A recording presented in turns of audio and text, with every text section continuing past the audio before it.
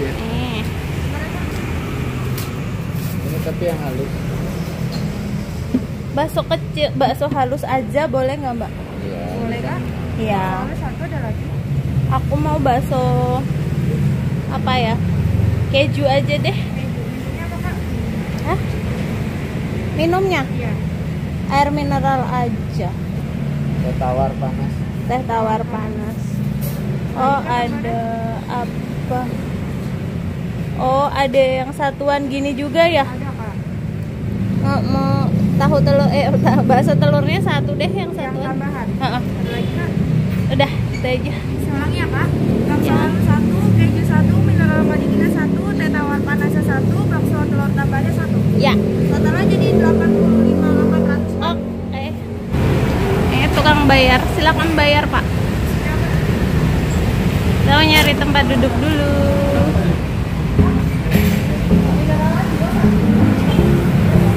jadi lagi ke warungnya Pak Muh nih Pak Muh ya kan? Ternyata ada dong deket rumah. Dan jadi penasaran bisa ngincipin warungnya Pak Muh. Eh pesenannya udah datang jadi ini ada bakso telur ini aja bakso alus ini ada bakso keju paket komplit minumnya air mineral terus tau nggak mas-masnya itu ramah banget tapi dijelasin semua. Tadi nggak sempat ngerekam ya harusnya direkam ini ramah banget ya. Jadi kesan pertama itu eh, sangat menyenangkan untuk pelanggan. Terus tempatnya juga bersih. Ya, kayak ini ini baru dibuka ya di sini ya masih Enggak tahu. Tapi kayaknya belum lama. belum lama sih kayaknya karena kalau udah lama biasanya kita aware di sini ada makanan Udah pernah makanan lihat lewat tuh. Ya lihat ini kayaknya ada tempat baru cuman nggak ngerti warung makan tapi yang modern gitu loh kayak warteg.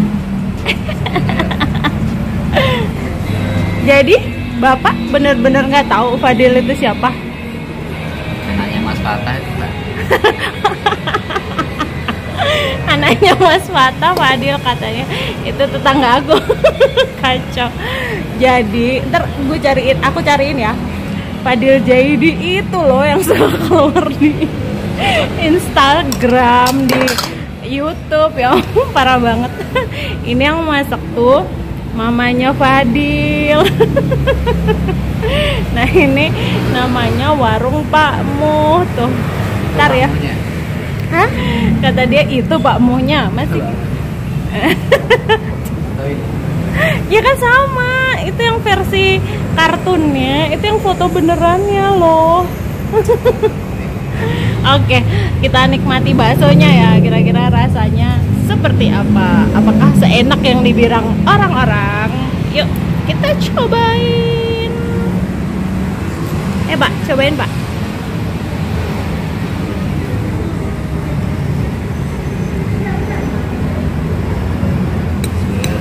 Eh itu punya aku Itu kan yang keju Ya, Ya. kasih itu. Ya dikasih sambal lagi. Ya kamu kasih sambal. Kasih kecap dikit. Oh aku kan gak suka kecap. Ya udah. Makanya aku "Loh, ada yang gede kan. Oke kita cobain dulu ya.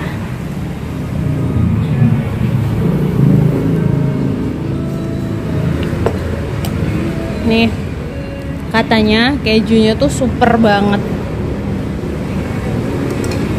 Terus dagingnya tuh daging banget gitu.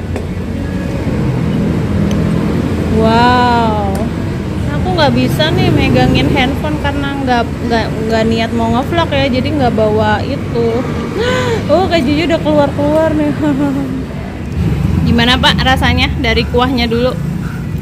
Oke, oke. Beneran, coba dimakan dulu. Jadi Mas Arif tuh ter- eh, kalau makan makanan yang berkuah-kuah tuh termasuk picky gitu ya. Jadi kalau dia bilang enak tuh beneran enak gitu. Oke, aku mau cobain juga ya. Nih kejunya tuh kayak gini tuh.